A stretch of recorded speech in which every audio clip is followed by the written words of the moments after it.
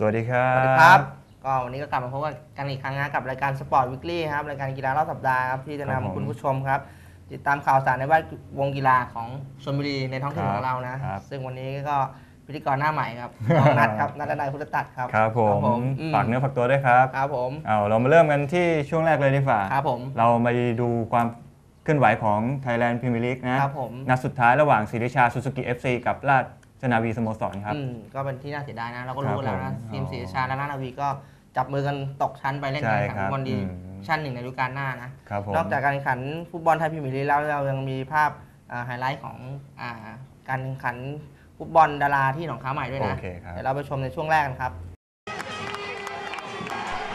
ศรีราชาซูซูกิ FC โชว์ผลงานนัดส่งท้ายไทยลีกได้เยี่ยม เมื่อเปิดบ้านต้อนรับเอาชนะราชนาวีสโมสรไปแบบไม่ยากเย็น ด้วยสกอร์ 2 ประตูต่อศูนย์ส่งผลให้ทหารน้ำที่พ่ายแพ้ในเกมนี้ กลายเป็นทีมที่ 3 ต่อจากบลูมารีนและเดอะทีเร็กซ์ ที่ต้องร่วงลงไปเล่นในดิวิชั่น 1 ปีหน้า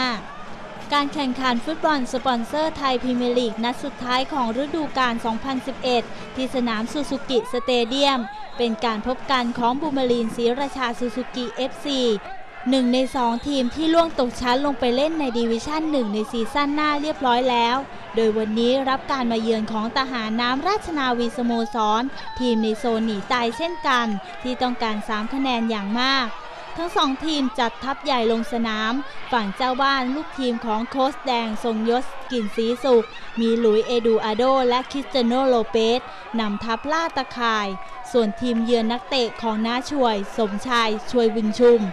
ก็มีวุฒิชัยอสุชีวะ โอลอฟวัตสันทำเกมรุกอยู่ด้านหน้า เริ่มเกมการแข่งขันได้เพียง 11 นาที เจ้าบ้านทำประตูขึ้นนำหนึ่งประตูต่อศูนย์ อัธพงษ์หนูพรม เปิดฟรีคิกเข้าไปในกรอบเขตโทษ และเป็นดักลัสโคโบ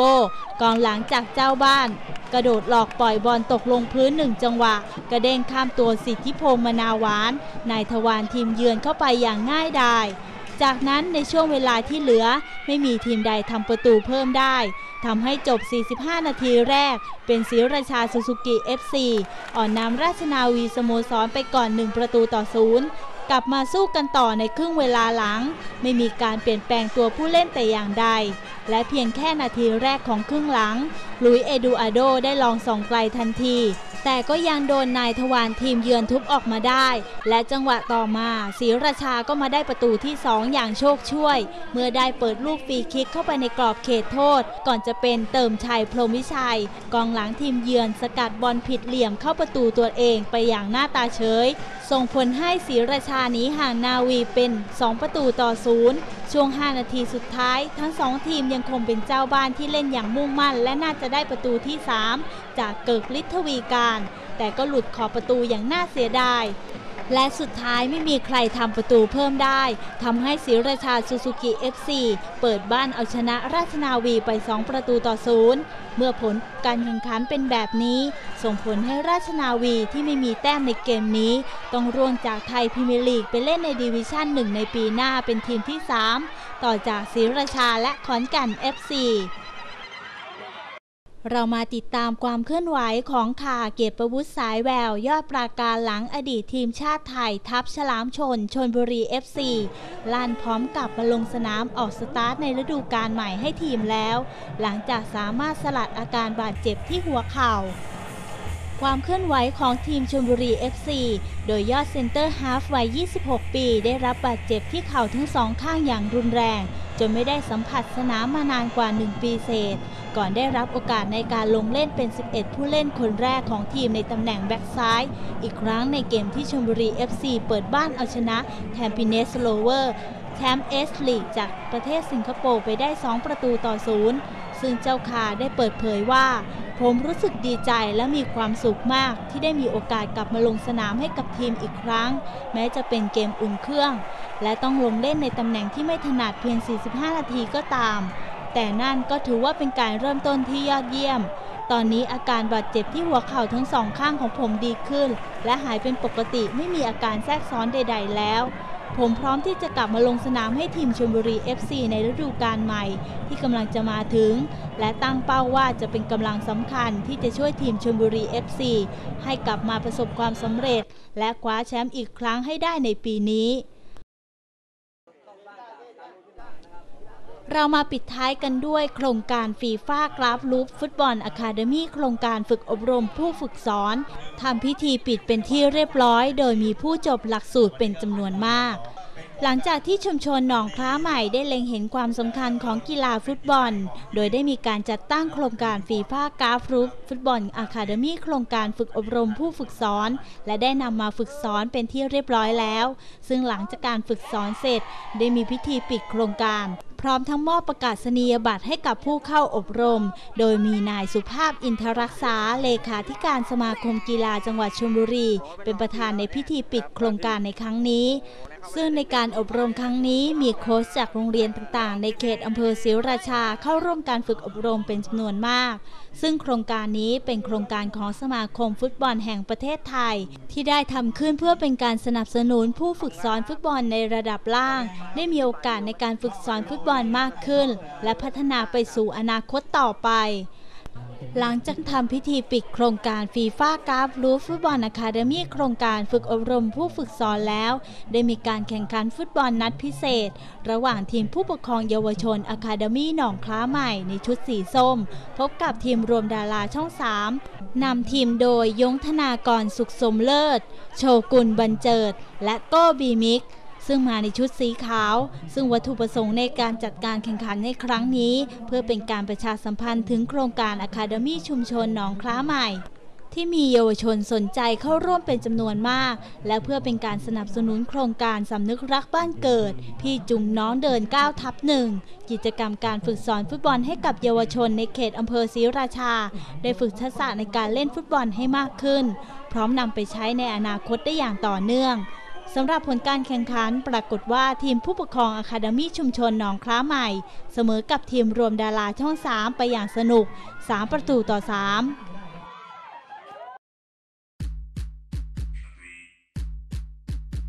เก็บตกไทยลีกสัปดาห์นี้มาเริ่มกันที่ งานมอบถ้วยรางวัลแชมป์ฟุตบอลสปอนเซอร์ไทยแลนด์พรีเมียร์ลีกสุดไกลบุรีรัมย์ PEA ไม่ส่งนักเตะแม้แต่คนเดียว รวมถึงโค้ชแต๊กอรรถพลปุษปาคม ขึ้นไปรับเหรียญรางวัล ส่งเพียงเจ้าหน้าที่ทีม 2 คนขึ้นไปรับแทน แถมยังมีคลิปของธีราทรบุญมาทันทำการมอบเหรียญรางวัลกันเอง จนคนมองว่าเป็นการล้อเลียน สภากรรมการสมาคมฟุตบอลแห่งประเทศไทย ตัดสินไม่ให้สงขลา FC ขึ้นเล่นในฟุตบอลสปอนเซอร์ไทยแลนด์พรีเมียร์ลีก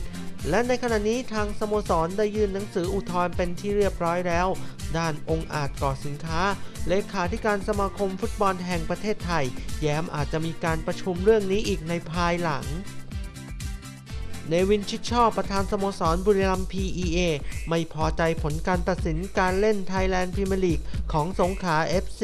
ชี้เป็นเวรกรรมของฟุตบอลไทยที่กระแสบอลกำลังดี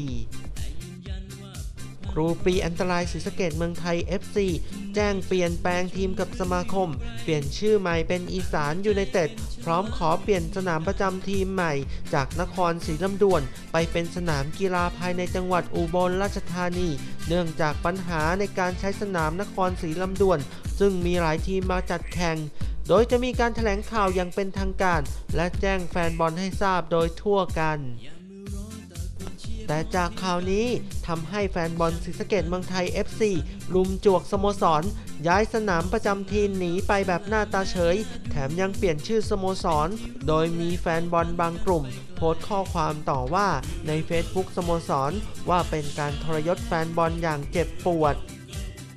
ด้านสัญชัยอดุลสุทธิกุลที่ปรึกษาสโมสรศรีสะเกดเมืองไทย FC ควงแฟนบอลขอความเห็นใจในการใช้สนามนครศรีลำดวน ที่ต้องแย่งสิทธิ์ในการใช้สนามกับหลายทีมในท้องถิ่นวอนขอความเป็นธรรมกับผู้เกี่ยวข้อง กับสนามช่วยทบทวนเกี่ยวกับการใช้สนามนครศรีลำดวน เพื่อสโมสรและแฟนบอล ร็อบบี้ฟาวเลอร์ย้ายทีมไปเล่นในลีกอินเดียแล้ว โดยการประมูลของสโมสรโกลกาตา ด้วยราคา 16 ล้านบาท ด้านเสี่ยเป้รณฤทธิ์ซื่อวาจาผู้อำนวยการสโมสรเมืองทองยูไนเต็ดเผย พร้อมปล่อยไปหาความท้าทายใหม่ TOTSC ปล่อยตัวโคเน่โมฮัมเหม็ดดาวยิงตัวเก่งไปเมืองทองหนองจอกยูไนเต็ดเรียบร้อยแล้ว โดยทางสโมสรเมืองทองเผย ต้องการมองหานักเตะที่จะเข้ามาเติมแนวรุกแทนร็อบบี้ฟาวเลอร์ ธีรเทพวิโนทัยช็อกแฟนบอล BEC เทโรศาสน เมื่อเซ็นสัญญาเปิดตัวกับบางกอกกล๊าส FC อย่างสายฟ้าแลบโดยศุภสินลีลาฤทธิ์เชื่อดาวเตะทีมชาติไทยรายนี้ จะทำให้เกมรุกของบางกอกกล๊าส FC มีสีสันมากยิ่งขึ้น ชลบุรี FC เซ็นสัญญาคว้าตัวเกริกฤทธิ์ทวีกาญจน์และพรศักดิ์ป้องทอง จากทีมศรีราชาซูซูกิ FC ไปร่วมทัพเรียบร้อยแล้ว โดยโค้ชเฮงบอก 2 นักเตะมีศักยภาพพอที่จะมาเติมเต็มความสมบูรณ์ให้มากขึ้น บอร์ดบริหารปลาทูคะนองกังวลกับการไล่สปอนเซอร์ หวั่นกระทบกับการทำทีมในฤดูกาลใหม่ โดยขณะนี้เร่งการจัดหาสปอนเซอร์หลักให้เสร็จสิ้นเร็วที่สุด พัทยายูไนเต็ดรับโบนัสอัดฉีด5ล้านบาท จากบอร์ดบริหารหลังจบฤดูกาลด้วยอันดับที่ 4 โดยทางสโมสรจัดเลี้ยงฉลองปิดฤดูกาลและขอบคุณแฟนบอล ปีหน้าตั้งเป้าลุ้นแชมป์หากทำได้รับ 10 ล้านสำหรับผลการแข่งขันฟุตบอลสปอนเซอร์ไทยแลนด์พรีเมียร์ลีกในนัดปิดฤดูกาลอาร์มี่ยูไนเต็ดเปิดบ้านพ่ายให้กับ SCG สมุทรสงคราม FC 1 ประตูต่อ 3 ศรีราชาซูซูกิ FC เอาชนะราชนาวีสโมสร 2 ประตูต่อ0เชียงรายยูไนเต็ดเปิดบ้านเสมอกับบุรีรัมย์ PEA 2 ประตูต่อ 2 BEC เทโรศาสน เปิดบ้านพ่ายให้กับ TOTSC 2 ประตูต่อ 3 พัทยายูไนเต็ดเปิดบ้านเอาชนะเมืองทองยูไนเต็ด 1 ประตูต่อ 0 สรุปอันดับตารางคะแนนของฟุตบอลสปอนเซอร์ไทยแลนด์พรีเมียร์ลีกฤดูกาล 2011 ถึง 2012 บุรีรัมย์ PEA ครองอันดับที่ 1 แข่ง 34 นัดมี 85 คะแนน อันดับที่ 2 เป็นชลบุรี FC มี 69 คะแนน อันดับที่ 3 เป็นเมืองทองหนองจอกยูไนเต็ด มี 60 คะแนน อันดับที่ 4 พัทยายูไนเต็ด มี 53 คะแนน อันดับที่ 5 บางกอกกล๊าส FC มี 53 คะแนน แต่ลูกได้เสียน้อยกว่า โอสถสภา M150 สระบุรี ครองอันดับที่ 6 มี 51 คะแนน อันดับที่ 7 การท่าเรือไทย FC 45 คะแนน อันดับที่ 8 BC เทโรศาสนะ 45 คะแนน อันดับที่ 9 อินซีเพื่อนตำรวจ FC 44 คะแนน อันดับที่ 10 เชียงรายยูไนเต็ด 44 คะแนน อันดับที่ 11 TTM พิจิตร 43 คะแนน อันดับที่ 12ศรีสะเกษเมืองไทย FC 39 คะแนน อันดับที่ 13 Army United 39 คะแนน อันดับที่ 14 TOTSC 37 คะแนน อันดับที่ 15 SCG สมุทรสงคราม FC 36 คะแนน ส่วนทีมที่ตกชั้นประกอบไปด้วยอันดับที่ 16 ราชนาวีสโมสร 33 คะแนนอันดับที่ 17ศรีราชาซูซูกิ FC 32 คะแนน อันดับที่ 13 ขอนแก่น FC 27 คะแนน ครับผมก็กลับมาพบกับรายการสปอร์ตบุรีในช่วงที่ 2 นะ ซึ่งครับช่วงนี้ผมคือเราก็จะมีข่าวสารในแวดวงของกีฬาท้องถิ่นของเราครับผมครับผมซึ่งเราก็จะเริ่มต้นกันที่ อ่าเริ่มต้นที่ข่าวแรกครับ การแข่งขันรถยนต์ทางเรียบบางแสน Speed Thailand Speed Festival 2011 นะครับ ได้เริ่มทำการแข่งขันรอบคัดเลือกเป็นที่เรียบร้อยแล้วครับ ครับ ที่บริเวณสวนชายหาดบางแสนอำเภอศรีราชาจังหวัดชลบุรีครับ การแข่งขันรถยนต์ทางเรียบทั่วประเทศ และทั่วโลกร่วมกันแข่งขันในรอบคัดเลือก ของรายการบางแสน Thailand Speed Festival 2011 ที่ได้ทำการเลื่อนเมื่อปีที่แล้วนะ ครับผมจากอืมการเหตุการณ์น้ำท่วมนะใช่ครับ อ่าฮะ ก็มาแข่งที่ต้นปีนี้นะ ครับผม ครับผม โดยในวันนี้ครับถือเป็นการแข่งขันรอบคัดเลือกวันแรกครับ พร้อมเปิดโอกาสให้ผู้ให้ผู้เข้าแข่งขันนะครับ ได้ทำการลงทะเบียน อืม พร้อมกับตรวจเอกสารสมัครครับ ตรวจสภาพรถทุกทุกทุกทุกชนิดทุกชนิดเลยนะครับ อ่า ซึ่งในวันแรกนะครับ ก็ได้เปิดสนามด้วยบรรดานักแข่งสนามซ้อมครับ โดยมีเปิดรอบคัดเลือก ได้แก่รุ่นซูเปอร์พันห้าครับซูเปอร์สองพันครับแล้วก็ Super Car Thailand นะครับ แล้วก็รุ่นโตโยต้ายาริสครับสำหรับผู้สนใจนะครับเข้าชมได้ฟรีนะครับอืมไม่เสียตังค์แม้แต่บาทเดียว ครับ ซึ่งนอกตอนจากนี้ซื้อน้ำซื้อขนมอ่าใช่ ซึ่งตอนนี้ก็ทำการแข่งขันแล้วนะครับที่ผมบริเวณชายหาดบางแสนนะก็ยังมีอีกวันหนึ่งในวันพรุ่งนี้ด้วยโอเคใครสาร์อาทิตย์นี้ก็จะก็เป็นรอบรอบสุดท้ายละอือฮึครับผมอืมนี่เราไปเก็บภาพบรรยากาศในรอบคัดเลือกมาอ๋อครัสบนามก็ปรับปรุงนิดหน่อยอืมโอ เคครับ ครับผมแต่ดังนั้นว่าเราว่าครับรายการยิ่งใหญ่ของจังหวัดชลบุรีใช่นะครับ ถือว่าเป็นรายการประจำปีเนอะของชาวบางแสนเลย เฝ้ารอคอยมาตั้งนานนะจากใช่ อุทกภัยครั้งใหญ่ก็เลยครับเลื่อนมา อืมครับผมจากนั้นเราก็มาต่อกันที่ข่าวของมหกรรมกีฬาต่อต้านยาเสพติดนะครับและพัฒนาศักยภาพทางด้านกีฬาของชมรมดราก้อนนะซึ่งครั้งนี้ก็เป็นครั้งที่ 15 แล้วครับผมก็บรรยากาศก็เป็นที่อ่าสนามฟุตบอลโรงเรียนวัดหนองขามครับอำเภอศรีราชา จังหวัดชลบุรีก็ ได้มีการจัดการแข่งขันมหกรรมกีฬาต่อต้านยาเสพติดครับ และพัฒนาศักยภาพทางด้านกีฬาครับของชมรมดาก้อนครั้งที่ 15 โดยในภาพมันเป็นการแข่งขันในรอบชิงชนะเลิศในรุ่นอายุไม่เกิน 17 ปี โดยเป็นการพบกันระหว่างทีมดากอนศรีราชาครับมาในชุดสีฟ้าครับก็พบกับทีมสบายดี FC ในชุดสีน้ำเงินนะ ซึ่งการแข่งขันในคู่นี้ก็จบเกมเป็นทีมชมรมดากอนศรีราชาครับที่เอาชนะไปได้ 3 ประตูต่อหนึ่งนะ ส่งผลให้ทีมดากอนศรีราชาฟ้าแชมป์ในรุ่น อายุไม่เกิน 17 ปีไปครองครับผมจากนั้นในคู่ที่ 2 ครับเป็นการชิงชนะเลิศในรุ่นอายุไม่เกิน 15 ปีครับ ก็เป็นการพบกันระหว่างทีมฟ้าสาย FC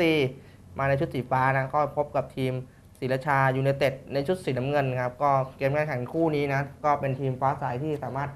ครองบอลได้เหนือกว่าครับ และอ่าเอาชนะไปด้วยด้วยสกอร์ 4 ประตูต่อหนึ่งครับ ส่งผลให้ทีมฟ้าสายก็คว้าแชมป์ในรุ่นอายุไม่เกิน 15 ปีไปครองครับ อืมจากนั้นในคู่สุดท้ายนะครับ ก็เป็นการชิงชนะเลิศในรุ่นอายุไม่เกิน 13 ปี ก็เป็นการพบกันระหว่างทีมดากอนศรีราชา ก็มาในชุดสีน้ำเงินพบกับทีมสบายดี FC ครับในชุดสีฟ้าก็เกมการแข่งขันในครึ่งแรกเป็นทีมสบายดี FC ที่ได้ประตูนำไปก่อนหนึ่งประตูต่อศูนย์นะครับจากนั้นในครึ่งหลังครับ ก็ยังคงเป็นทีมสบายดี FC ที่ยังคงทำได้ดีนะ ก็ยิงประตูเพิ่มอีก 3 ประตูครับส่วนทีม Dragon ศรีราชาสามารถไล่ตีไข่แตกมาได้หนึ่งประตูนะครับผมทำให้ เมื่อจบอ๋อในช่วงท้ายเกมครับทีมสบายดี FC ก็มายิงอีกหนึ่งประตูนะทำให้เมื่อจบเกมการแข่งขันทีมสบายดี FC เอาชนะทีม Dragon ศรีราชาไปได้ 4 ประตูต่อหนึ่งนะครับผมจากนั้นเรามีภาพบรรยากาศอ่าของพิธีปิดการแข่งขันในรายการนี้มาด้วย ก็เราสรุปผลการแข่งขันของมหกรรมกีฬาต่อต้านยาเสพติด และพัฒนาศักยภาพทางด้านกีฬาก็ได้ดังนี้นะนี่ยังเป็นภาพของคู่ชิงชนะเลิศอันดับที่ในรุ่น อายุไม่เกิน 13 ปีอยู่ครับผมครับผมมันคือการชิงชนะเลิศนะ ก็เล่นกันได้อย่างสนุกเลยทีเดียว อืมตรงนี้ก็เกือบเข้านะอายุ 13 ปีมีเยาวชนสนใจเข้าร่วมการแข่งขันเป็นจำนวนมากเลยนะ ถือว่าเป็นการการส่งเสริมอืม เยาวชนได้ดีมากเลยครับครับผม นี่เป็นคู่สุดท้ายแล้วฟ้าก็เริ่มมืดแล้ว โอ้โหเดี๋ยวดูภาพพิธีปิดเนี่ยยิ่งมืดกว่านี้อีกมองไม่เห็นหน้าคนรับช่วยอะนี่เป็นภาพพิธีปิดการแข่งขันนะ ซึ่งก็สรุปผลการแข่งขันได้ดังนี้นะครับ การแข่งขันฟุตบอลรุ่นอายุไม่เกิน 13 ปี ชนะเลิศได้แก่ทีมสบายดี FC ครับรุ่นอายุไม่เกิน 15 ปี ทีมชนะเลิศได้แก่ทีมฟ้าใส FC ครับและรุ่นอายุไม่เกิน 17 ปี ทีมชนะเลิศได้แก่ทีมดากอนศรีราชาครับส่วนรุ่นอ่าประชาชนทั่วไปทีมชนะเลิศได้แก่ทีมต้นศักดิ์ FC ครับส่วนรางวัลอ่านักเตะยอดเยี่ยมได้แก่เด็กชายอนุสักดิ์นาคามะโค้งนะครับจากทีมฟ้าใส FC อืมอะอืมนี่ก็เป็นภาพบรรยากาศในพิธีปิดวันนั้นนะ มืดไปนิดนึงขครัอบอภัยผมนะ เพราะที่สนามไฟน้อย โอเคครับครัต้บองผม ขอบคุณผู้จัดการแข่งขันนะที่ครับเล็งเห็นว่าเยาวชนเราสามารถแสดงออกทางด้านกีฬาได้เยอะแยะขนาดนี้นะ ใช่ครับผมอ่า อืมก็อยากให้จัดการแข่งขันแบบนี้ไปตลอดไปทั้งใช่ปีครันะบครับ เพื่อเป็นการสนับสนุนเยาวชนต่อไปนะครับผมครับผมอืม อ่าเรามาดูเนี่ยการแข่งขันฟุตซอล BCS Super Cup 2011 นะครับได้ได้ปิดฉากลงไปเรียบร้อยแล้วนะครับ เรามาดูกันเลยนะครับ คู่ชิงชนะเลิศอันดับที่ 3 นะครับครับ ระหว่างทีมปลาดุก Car Care ในชุดสีฟ้าพบกับ iMac FC ในชุดสีแดงนะครับครับเริ่มเกมการแข่งขันในครึ่งแรก ทั้งคู่เล่นได้อย่างสูสีนะครับอืมแต่เป็นปลาดุก Car Care ครับที่นำไปก่อน 3 ประตูต่อ2นะครับหลังจากจบครึ่งแรก ใช่ หลังจากนั้นเกมครึ่งหลังครับปลาดุก Car Care ก็สามารถยิงเพิ่มมาอีก 5 ประตู ส่วน iMac FC นะครับยิงเพิ่มมาอีก 3 ประตูทำให้ผลการแข่งขันจบมาจบลงนะครับปลาดุก Car Care ชนะไป8ประตูต่อ 5 นะครับครับผม คว้าอันดับ 3 ไปครองได้สำเร็จนะครับ ครับปลาดุก Car Care นี่ก็เป็นทีมจากพัทยานะอ๋อ มาไกลครับผมมาไกลกันนะใช่โอเคครับ เข้าร่วมการแข่งขันรายการนี้คว้าอันดับสามไปโอเคครับ ครับผม ส่วนคู่ที่ 2 ครับ เป็นคู่ชิงชนะเลิศระหว่างชลบุรี PPK นะทีมดังของชลบุรีนะ ครับ ในชุดสีเขียวพบกับ Golden Land นะฮะบิ๊กแมตช์จริงๆคู่นี้ อืม เริ่มเกมครึ่งแรกนะครับ ทั้งสองทีมก็เล่นกันอย่างดุเดือดนะครับ ทั้งสองทีมสามารถยิงประตูได้ทีมละหนึ่งประตู จบครึ่งแรกก็เสมอกันไปด้วยสกอร์หนึ่งประตูต่อหนึ่ง ส่วนครึ่งหลังนะครับทั้งคู่ปรับรูปแบบเกมการเล่นนะครับได้อย่างสนุกสูสีนะครับ Golden Land ยิงเพิ่มได้ 3 ประตูรวดครับนำห่างไป 4 ประตูต่อหนึ่งแต่ชลบุรีทีวีเคก็ยังไม่ถอดใจนะใช่แบบสู้อย่างสุดใจแล้วยิงคืนมาได้ 3 ประตูอื้อหือนี่คือมายิงยิงเพิ่มได้สองประตูอ่านะ ครึ่งหลังใช่ จบจบเกมก็ Golden Land ชนะไป 4 ประตูต่อ3แหมใช่แต่ส่วน การปิดนะครับก็มีนายวิชัยสัมพันธรัตน์นายอำเภอศรีราชานะครับมาเป็นประธานพิธีปิด สรุปผลการแข่งขันได้ดังนี้ครับรางวัลชนะเลิศได้แก่ Golden Land รองชนะเลิศได้แก่ชลบุรี PPK รองชนะเลิศอันดับหนึ่งได้แก่ปลาดุก Car Care นะครับและรองชนะเลิศอันดับที่ 2 ได้แก่ iMac FC ครับผมอืมอืมอันนี้ก็อันนี้จัดเป็นครั้งแรกนะ ใช่ครั้งแรกโอ้จัดชิงเงินรางวัลที่หนึ่งได้ห้าหมื่นเลยนะโอ้ถือว่าพลิกความคาดหมายนะที่ ทีม PPK ชลบุรีนี่คว้าได้แค่อันดับที่2ใช่เนื่องจากครับใช้ตัวผู้เล่นจากชุดกีฬาแห่งชาตินะอืมถือว่า Golden Land มาดีเลยทีเดียวในใช่ครับ ในการแข่งขันในครั้งนี้นะ ลูกกลมๆอะไรก็เกิดขึ้นได้นะ ใช่ครับ อือฮึซึ่งมีข่าวแว่วมาว่าในครั้งหน้านะ จะจัดแบบ open เลย อืม ชิงเงินรางวัล1 0 0 0 0แสนบาทครับครับใครสนใจก็ติดตามอืได้นะครับ ครับผมลองติดตามข่าวข่าวกันต่อไปนะครับผม ครับผม จากนั้นเรามากันที่อ่าเทศบาลตำบลเจ้าพระยาสุรศักดิ์นะครับ ก็ได้จัดมหกรรมสุขภาพนะครับส่งเสริมการออกกำลังกายครับ พิชิตโรคอ้วนและเสื่อมโทรมของอวัยวะครับ พร้อมจัดกิจกรรมนานาการเพื่อสุขภาพให้ประชาชนครับ ก็ภาพบรรยากาศก็เป็นที่สวนสาธารณะเฉลิมพระเกียรติ 72 พรรษามหาราชินีครับ ริมอ่างเก็บน้ำหนองคออำเภอศรีราชาครับมีนายอาคมพันเฉลิมชัยครับ นายกเทศมนตรีอ่าตำบลเจ้าพระยาสุรศักดิ์ครับเป็นประธานในพิธีเปิดโครงการส่งเสริมการออกกำลังกาย และกิจกิจกรรมนันทนาการเพื่อสุขภาพนะครับ โดยภายในงานได้มีการจัด นิทรรศการต่างๆ ที่กับที่เกี่ยวกับการดูแลสุขภาพ ให้ห่างไกลจากโรคภัยไข้เจ็บนะครับแล้วก็มีการตรวจสารพิษตกค้างในร่างกายอีกด้วยนะมีการตรวจแนะนำภาวะเสี่ยงของอัมพาตพร้อมด้วยการตรวจวัดสายตานะก็นี่เป็นภาพกิจกรรมภายในงานวันนั้นนะก็ในงานก็ยังมีการสาธิตการออกกำลังกายอาทิ การเต้นลีลาดครับการเต้นอาราบิกเพื่อสุขภาพ การเล่นฮูลาฮูปนะก็ในครั้งนี้ก็มีวัตถุประสงค์เพื่อให้ประชาชนได้ รู้จักดูแลสุขภาพของตนเองให้มีประสิทธิภาพนะครับและเป็นการป้องกันการเกิดโรคนะครับผมซึ่งเทศบาลจึงคำนึงถึงหลักดังกล่าวนะถึงได้จัดกิจกรรมนี้ขึ้นมาอืมครับผมอันนี้เป็นภาพบรรยากาศของวันนั้นนะซึ่งจัดขึ้นโดยเทศบาลอ่าตำบลเจ้าพระยาสุรศักดิ์ครับผมมีประชาชนเข้าร่วมอย่างคับข้างนะวันนั้น ครับผมอ่ามาดูข่าวต่อไปเลยครับ เทศบาลเมืองบ้านสวนนะครับจัดการแข่งขันกีฬาชุมชนสัมพันธ์เทศบาลบ้านสวนเพื่อส่งเสริมแนวคิดและร่วมพัฒนา และสร้างความสามัคคีในหมู่คณะนะครับ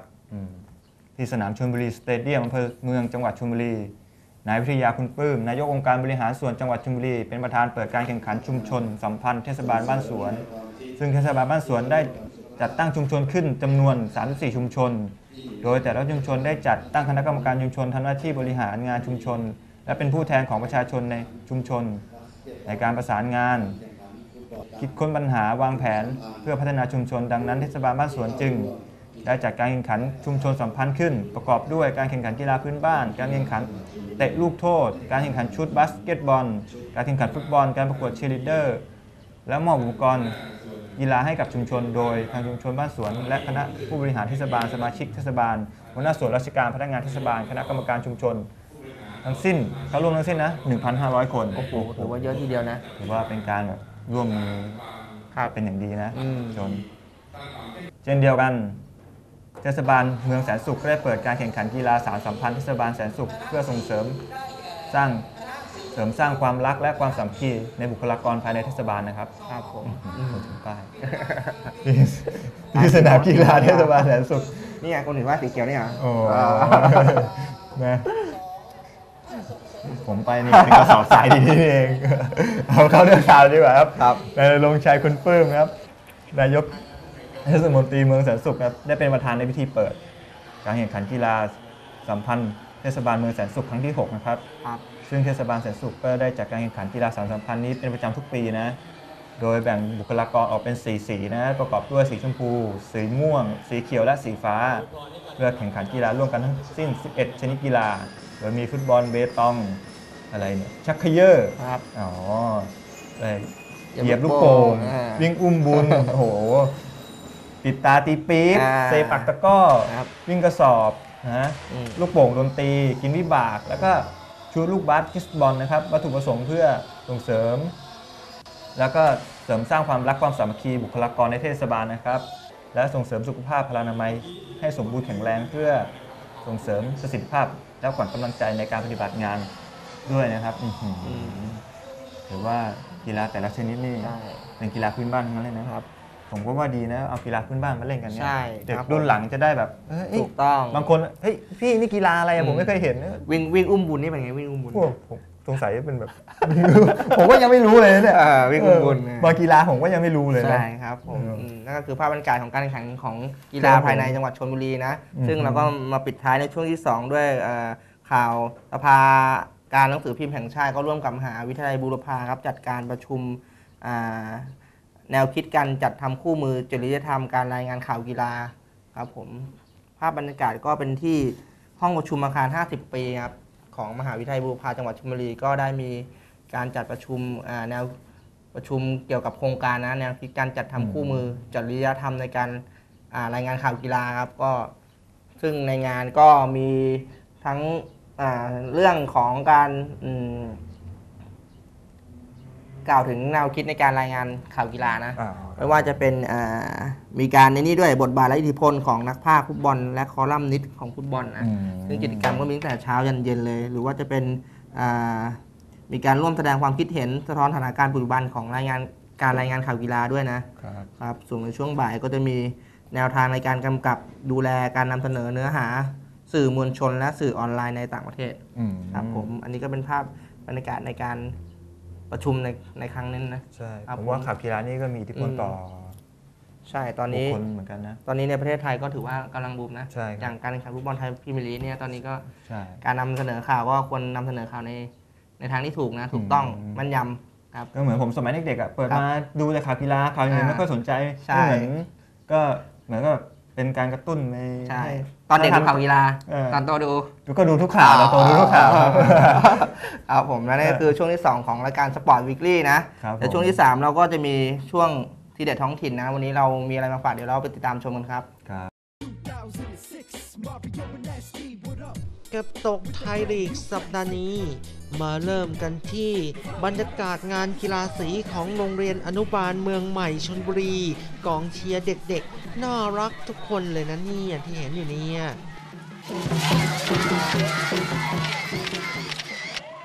มาดูไฮไลท์เด็ดของงานกีฬานี้กับการแข่งขันกีฬาฟุตบอล การเตะบอลของแบบน้องๆเนี่ย เน้นการวิ่งไล่บอลแบบเป็นทีม ไม่มีกองหน้า ไม่มีกองกลาง ไม่มีกองหลัง เฮ้ย เล่นกันสูตรไหนเนี่ย ผู้รักษาประตูก็รอกันสักพัก กว่าจะมีบอลหลุดมาสักลูก อาจารย์ประจำชั้นคอยเชียร์อยู่ข้างสนาม แต่อย่าสั่งมากนะครับ น้องเขากดดัน นั่น เตะบอลไม่ถูกเลย กลัวครูทำโทษหรือเปล่าเนี่ยน้อง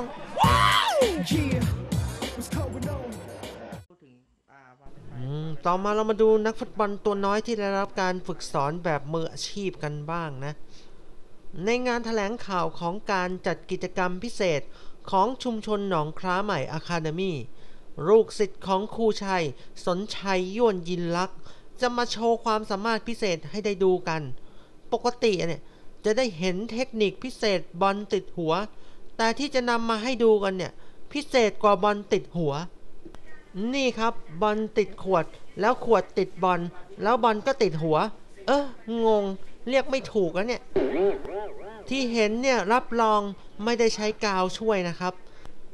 เยาวชนคนใดอยากรู้เคล็ดลับการเลี้ยงบอลติดขวดแล้วขวดติดบอลแล้วบอลติดหัว เอ้ย งงอีกแล้วครับท่าน เอาเป็นว่าไปเรียนรู้กับครูชัยเอง ที่ชุมชนหนองคล้าใหม่อะคาเดมี่แล้วกันนะ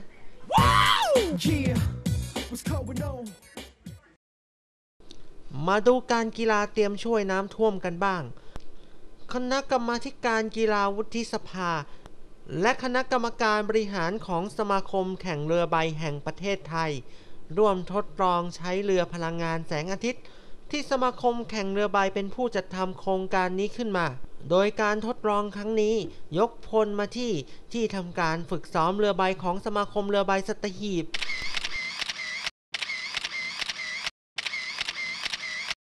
โดยหากโครงการนี้ผ่านการพิจารณา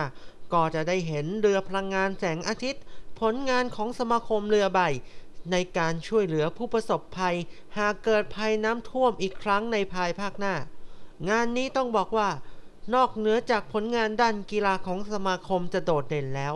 ยังมีโครงการดีๆ ช่วยเหลือประชาชนอีกด้วย ครับพี่น้อง Yeah, ปิดท้ายสัปดาห์นี้ จะพาท่านมาดูบรรยากาศงานกีฬาสีของวิทยาลัยอาชีวศึกษาศรีราชา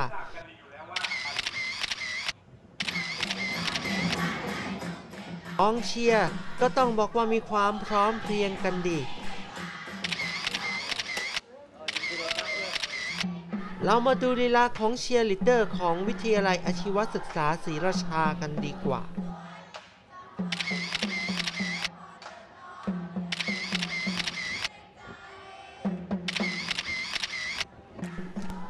สีเขียวเนี่ย เต้นกระจายอะ คนกลางที่เต้นอยู่เนี่ยพริ้วจริง ๆนะยะเธอ อืม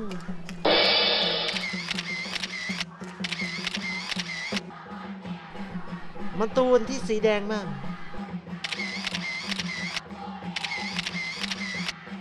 เน้นการใช้สเต็ปที่แขนนะ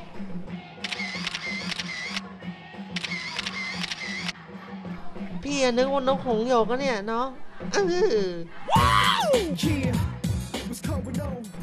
ชียร์ลีดเดอร์นักศึกษาเนี่ยน่าดูน่าดูจ้ะครับผมอืมก็ได้ติดตามชมแล้วนะช่วงครับทีเด็ดผมท้องถิ่นนะครับผมครับผมสนุกก็สนานกันมาก ใช่ วันนี้รายการ Sport Weekly ก็หมดเวลาแล้วนะ ก่อนครับอื่นอ่าในช่วงท้ายเกมนี้เราก็มีกิจกรรมดีๆนะค่ะแจกกับสำหรับอ่าแฟนๆ รายการ Sport Weekly นะครับผมสำหรับผู้ที่สนใจก็โทรมาร่วมสนุกได้นะ ซึ่งเราใช่ก็จะแจกอ่าบัตรรับประทานอาหารอ่า ของ BSC นะลดครับ15%อยู่บริเวณครับลานเพลินลานลานเพลินเบียร์ของ BSC อือฮึนอกจากนั้นยังมีบัตรอ่าเล่นโบว์ลิ่งฟรี 2 เกมนะครับผมผมก็แจกสำหรับผู้ที่ต้องการร่วมสนุกก็โทรมาตามเบอร์ที่ปรากฏนะครับหรือว่าสามารถติดติดตามรายละเอียดได้ที่ Facebook ของเรานะ ซึ่ง Facebook กีฬารอบสัปดาห์นะครับครับก็ผมลองเข้าไปชมรายละเอียดได้นะ ใช่ครับครับผมอืมงั้นเราก็มาขอขอบคุณครับผู้สนับสนุนใจดีนะครับครับผมนะเอาเสื้อสวยๆไปก่อนจากใช่ ร้านราชาสปอร์ตนะคอ่ารับอยู่ตรงไหนอยู่ตรงไหน อยู่ตรงข้างเซเว่นหน้าสวนสุขภาพ อ่าครับครับผมอืม ก็มีชุดกีฬามากมายนะลองครับเข้าไปชมกันดูราคาเป็นกันเองครับ ครับผมอีกตัวเอ่ออีกผู้สนับสนุนอีกตัวก็ได้แก่เดอะไทม์คอนโดนะคอนโดหรูใจกลางสี่ย่านอ่าวอุดมนะครับผม สำหรับผู้ที่สนใจก็สามารถเข้าไป